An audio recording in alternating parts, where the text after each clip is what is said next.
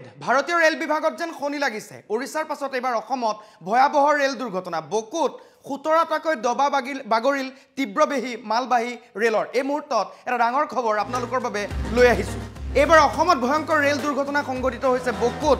মালবাহী ৰেলৰ ষোল্লটাকৈ দবা বাগৰি পৰিছে। বকুৰ সিংৰাত সংঘটিত হৈছে ভয়ংকৰ অঘটন আৰু তাৰ পাছতে সমগ্ৰ অঞ্চলজুৰি তীব্ৰ চাঞ্চল্য দেখিবলৈ পোৱা গৈছে। তীব্ৰবেগী ৰেলৰ ষোল্লটাকৈ দবা লাইনচ্যুত হৈছে। কামাখ্যা যোগীঘোপা ৰেলপথত সংঘটিত হৈছে এই ভয়ংকৰ দুৰ্ঘটনা।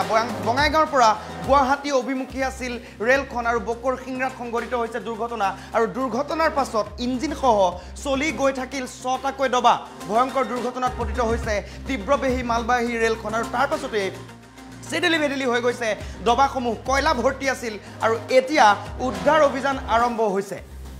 এই দৃশ্য দেখুৱাইছোঁ এক্সক্লুচিভ দৃশ্য।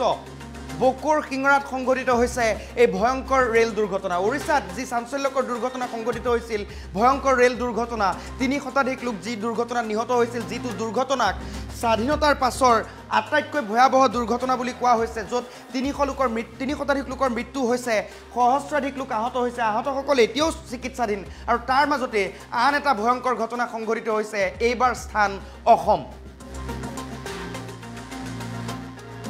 যি সময়ত ভাৰতীয় ৰেল মন্ত্ৰী অশ্বিনী বৈষ্ণৱৰ পদত্যাগ দাবী কৰা হৈছে বিভিন্ন প্ৰান্তত প্ৰতিক্ৰিয়া প্ৰতিবাদ দেখিবলৈ পোৱা গৈছে।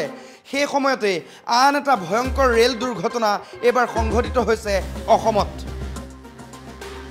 মালবাহী ৰেল দুৰ্ঘটনাত পতিত হৈছে লাইনচ্যুত হৈছে। শেহতীয়া যি তথ্য আছিল সেই তথ্যই ইতিমধ্যে সমগ্ৰ দেশবাসীক উদ্বিগ্ন কৰিছে। কাৰণ দুহেজাৰ সোতৰৰ পৰা দুহেজাৰ একৈছ পৰ্যন্ত প্ৰায় দুহেজাৰ এশ সাতষষ্ঠিটা ৰেল দুৰ্ঘটনা সংঘটিত হৈছে আৰু অধিকাংশ ৰেল ৰেল দুৰ্ঘটনাতে ৰেলসমূহ লাইনচ্যুত হৈছে আৰু লাইনচ্যুত হোৱাৰ ফলতে ভয়াৱহ ৰূপ লৈছে এই দুৰ্ঘটনাসমূহে। লক্ষাধিক লোকৰ মৃত্যু হৈছে পাঁচ বছৰত। আৰু তাৰ পাছতেই এই ভয়ংকৰ ঘটনা। বিগত সময়ছোৱাত বহু লোকৰ মৃত্যু হৈছে। আৰু শেহতীয়াকৈ তিনিশজন লোকৰ প্ৰাণ গ'ল উৰিষ্যাৰ বালাচোৰৰ সেই ভয়ংকৰ দুৰ্ঘটনাত সহস্ৰাধিক লোক আহত হৈছে। এই দুৰ্ঘটনাৰ প্ৰতিক্ৰিয়া অব্যাহত আছে। বিৰোধী দলসমূহে পদত্যাগ দাবী কৰিছে। অশ্বিনী বৈষ্ণৱৰ ইতিমধ্যে উৰিষ্যাৰ যি ভয়ংকৰ ৰেল দুৰ্ঘটনা সেই ৰেল দুৰ্ঘটনাৰ ভুক্তভোগীৰ সাহা- বাবে সাহায্য ঘোষণা কৰা হৈছে। নিহতৰ পৰিয়াললৈ দহ লাখকৈ টকা গুৰুতৰভাৱে আহতসকলকো সাহায্য দিয়া হৈছে। সামান্য পৰিমাণে আহতসকলকো সাহায্য দিয়া হৈছে। আৰু তাৰ মাজতেই এই ভয়ংকৰ দুৰ্ঘটনা সংঘটিত হৈছে অসমত বকুৰ সিংৰাত সংঘটিত হৈছে এই দুৰ্ঘটনাটো। ঘটনাটো সংঘটিত হোৱাৰ পাছতেই হোৱা দোৱা লাগে অঞ্চলবাসীৰ মাজত। এটা প্ৰচণ্ড শব্দ হয় আৰু শব্দটোৰ পাছতেই যেতিয়া একাংশ লোক বাহিৰলৈ ওলাই আহে তেওঁলোকে দেখা পায় যে এটা ভয়ংকৰ ৰেল দুৰ্ঘটনা সংঘটিত হৈছে।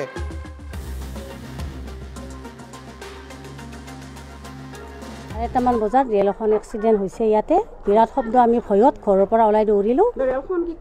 কয়লাৰ কয়লা কঢ়িয়াৰ ৰেল এইয়া বঙাইগাঁৱৰ পৰা গুৱাহাটীৰ ফালে গৈ আছিল।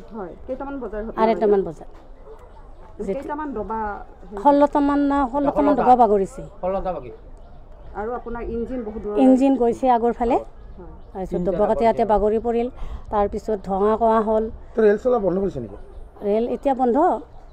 চলা নাই? আৰু এতিয়া। আৰু আমি ভয়তে ল'ৰাটো আৰু মই ভিতৰে আছিলোঁ। দুটা বাইছত হৈছে। আমি তাৰমানে তামোল ঘৰত ফালি আছিলোঁ। তামোল ফালি থাকোঁতে চুপাৰি ফালি থাকোঁতে আমি শব্দটো বৰ জোৰকৈ পালোঁ। কি গাঁওখনৰ কি গাঁওখন নাম খলিহা। অঁ খলিহা। তাৰপিছত আৰু ভাবিলোঁ বোলে কি ইমান শব্দ? নিশ্চয় ব্ৰেক মাৰোঁতে বাৰু হেৰি হৈছে নেকি বুলি ভাবিলোঁ। ইয়াৰ পিছতো বৈদ্য শব্দ শুনিছোঁ। শুনি আনা আৰু কল মানুহগিলাই বোলে ৰেলখন হেৰি হৈছে এই বাগৰি গৈছে কয়লাৰ গাড়ী। তাৰপিছত আৰু আমাৰ গোটেইবিলাকে মিস্ত্ৰী আছিল ঘৰ বান্ধা মিস্ত্ৰী। তাহাঁতেও আহিল গোটেইগিলা আহি চাই গেল। আমি আৰু মই আহিহে আহিলোঁ আহি আৰু দেখিলোঁ। ডাব্বাগিলা গোটেই বাগৰি গৈছে কেইটা কেইবাটা কেইটা।